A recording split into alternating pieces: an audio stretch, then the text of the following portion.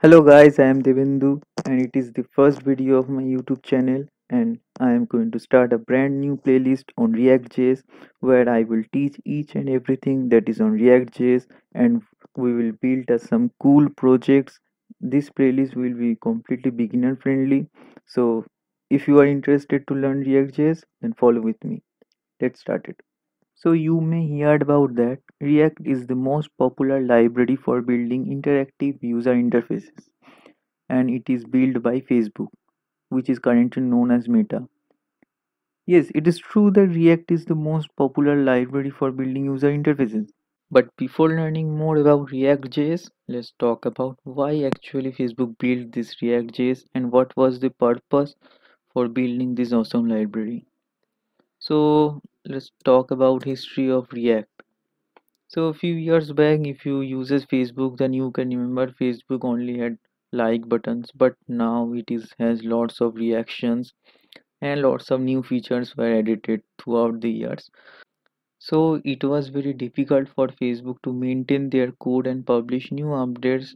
And for a while, Facebook was searching an efficient way to handle this problem. So Jordan Walke built a prototype that makes the process more efficient and it marks as the birth of React. You can also check out this video and it is the first ever conference held by React and lots of new features and lots of history of React was discussed in this video and this is the URL you can check out for. I will put it in the description of the video. As the most popular library for building user interfaces, some most popular websites uses React.js such as Facebook, Instagram, Netflix, Twitter, Reddit, and PayPal. You can see that this website and these apps are lots of heavier and the Netflix, the largest OTT platform also uses React. So React is a very powerful library and you can see from the list that it has more capability than anyone else. And not only this website, thousands of thousands of websites are now building in React and the website which was building in another library and another framework was also shif- shifted in React.js also. Other popular frameworks or libraries are like Angular which is made by Google and the Vue which is an open source framework is also most popular among the world. But from a survey of Stack Overflow in 2021 there's 40.14% people voted React as the most popular framework and they like working in React. And you can see 22.96% in Angular and 6 18.97% in Vue. So you can see that the React is now the most popular library for building user interfaces.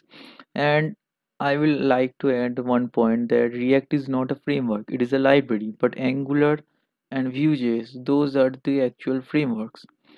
I will discuss why React is called library, not a framework later on this video. But so let's talk about why React is so popular. So some key features of React are it is easy to learn and use. Creating dynamic web application become easier. The reusable components of React makes the React so strong and so powerful. We will discuss this reusable component and creating dynamic web application means what is the actual meaning of those things later on this course. Don't worry. And the performance enhancement with the help of virtual DOM. Please note it down guys. Virtual DOM.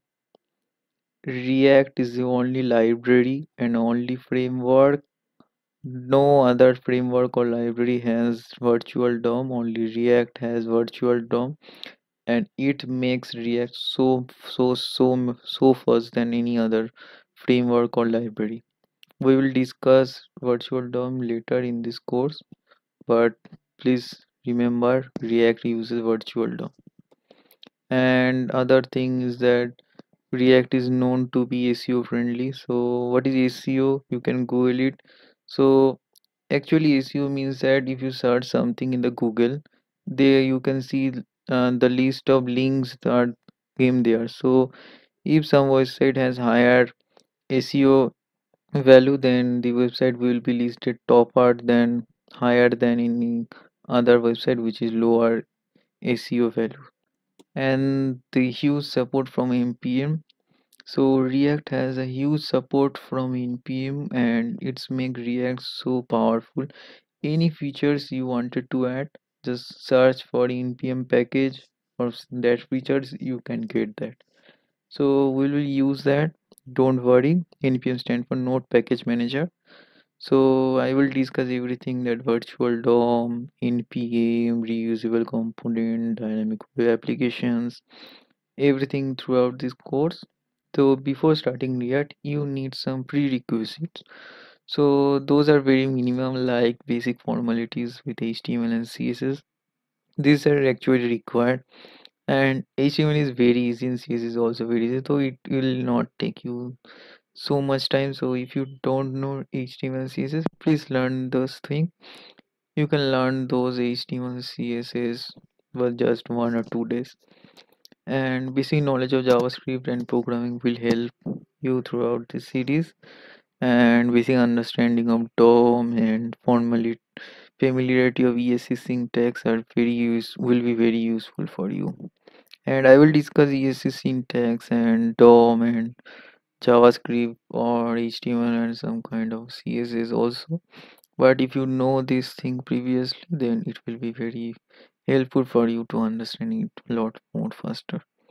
And the last thing that needed that installing Node.js and npm globally in your desktop or laptop for the next video and this is it for this video and we will install node.js in the next video of my series. So thank you guys and please subscribe to my channel. Bye bye